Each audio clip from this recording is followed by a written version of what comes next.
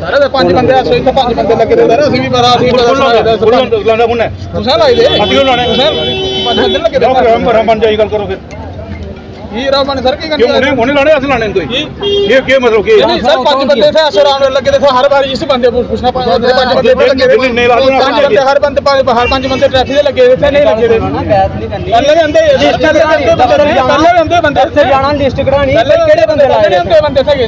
ਲਿਸਟਾਂ ਦੇ ਅੰਦੇ ਬੰਦੇ ਪਹਿਲੇ ਵੀ ਅੰਦੇ ਬੰਦੇ ਇੱਥੇ ਜਾਣਾ ਲਿਸਟ ਕਢਾਣੀ ਪਹਿਲੇ ਕਿਹੜੇ ਬੰਦੇ ਲਾਏ ਅੰਦੇ ਬੰਦੇ ਸੀਗੇ ਸਰ ਉਹ ਬਈ ਪਹਿਲਾਂ ਮੈਂ ਆਪਣੇ ਦਫ਼ਤਰ ਜਾਣਾ ਲਿਸਟ ਕਢਾਣੀ ਉੱਥੇ ਨਾਮ ਦਾ ਬਾਈ ਨੇ ਵੀ ਇੰਸਪੈਕਟਰ ਕਿਹੜਾ ਹੈ ਫਲਾਣਾ ਉੱਥੇ ਲੱਗੇ ਉਸੇ ਪਤਾ ਲਾ ਦੇ ਇੱਥੇ ਕੋਈ ਬੰਦਾ ਨਹੀਂ ਹੈ ਇਹ ਨੈਸ਼ਨਲ ਹਾਈਵੇ ਦੇ ਹੈ। ਕੋਈ ਬੰਦਾ ਨਹੀਂ ਸਭ ਥੋੜੇ ਲੋਕ ਤੁਸੀਂ ਜਾਣਾ ਚਾਹੀਦਾ ਕਿ ਭਾਈ ਇੱਥੇ ਵੀ ਟ੍ਰੈਫਿਕ ਹੈ ਇੱਥੇ ਵੀ ਬੰਦੇ ਲਾਓ ਪਹਿਲਾਂ ਵੀ ਬੰਦੇ ਹੁੰਦੇ ਪਹਿਲਾਂ ਹੁੰਦੇ तो पहले ना ना चलो नमस्कार आप देख रहे हैं जम्मू लद्दाख विजन और मैं हूं आपके साथ बलवान सिंह ठाकुर इस समय ट्रैफिक पुलिस की तरफ से बड़ा नाका जो है रामनगर बस स्टैंड में लगाया गया है जिसमें डीएसपी अरुण जुम्बाल जी मौके पर पहुंचे हैं और जो भी यातायात नियमों का उल्लंघन कर रहे हैं। उनके खिलाफ सख्त कार्रवाई जो है वो की जा रही है। जिस तरह से ऑटो यूनियन की तरफ़ से जो है पिछले दिनों प्रदर्शन किया गया था कि जो भी उनका जो है लोड कैरियर जो ऑटो हैं वो अपना सामान जो है वो मेटाडोर वाले जो है लोड करके ले ले जाते हैं और सामान बैग भी है कोई उसी इशू है। बिल्कुल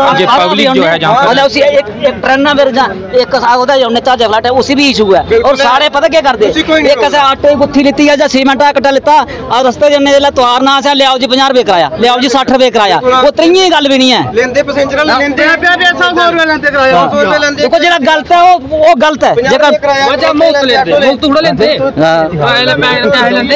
लेंदे पंजाह रुपए लेंदे अभी। जी जी क्या इशू हो गया? नहीं क्या बात है?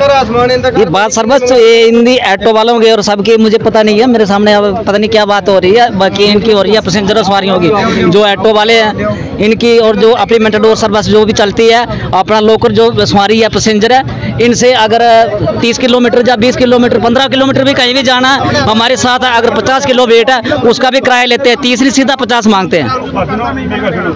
जिस तरीके से आम पब्लिक का कहना है कि जहाँ पर जो है मनमानी रेट जो है वो ले जाते हैं और ट्रैफ़िक पुलिस इस समय कार्रवाई जहाँ पर कर रही है लगातार जो है चलान्स लोगों के किए जा रहे हैं।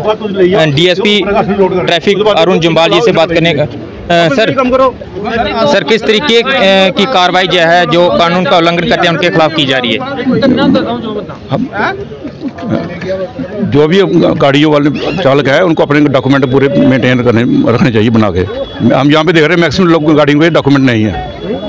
प्लस इनकी लोड कैरी प्लस वो जो पैसेंजर व्हीकल है उनका आपस में है कि ये हमारा सामान लोड करते हैं वो कहते हैं हमारा सामान लोड कर लेते हैं। लेकिन सर ट्रैफ़िक पुलिस जो है बड़ी कम रामनगर में दिखती है। तो आज आप जहाँ पर आए हैं तो किस तरीका के लोग जो है कानून की देखभाल जहाँ पर करते हैं?